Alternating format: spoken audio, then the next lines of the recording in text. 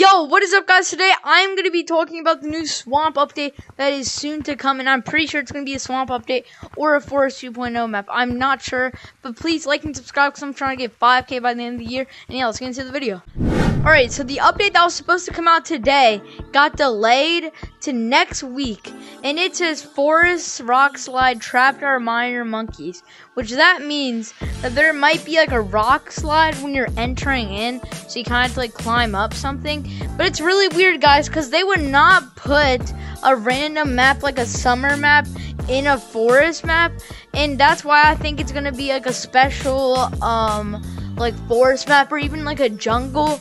Because like why would they add like a forest? I mean why would they add like a summer map like a beach in uh, the forest? Because they've never even added another map in here. So like it will probably be its own map but like a forest 2.0 and there will be probably like those ropes in the canyons but as like vines or it could also be like a swamp guys adding some water not to like swim in but it's like puddles so when you step on it it kind of makes a splash effect and splashes a little bit which would be really cool to do.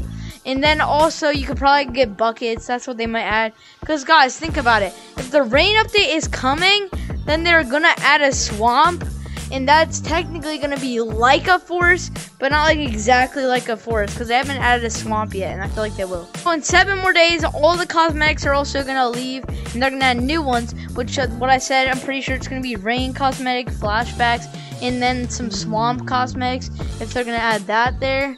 And yeah, also it says at the very end, at least they're enjoying the other side, which that could be also the like the forest 2.0 because the other side, which is like the other side of the forest, and they could be two forests or it could be a swamp. I don't know. Also, guys, for the posters here, it says rock slide, so this is what it could be like.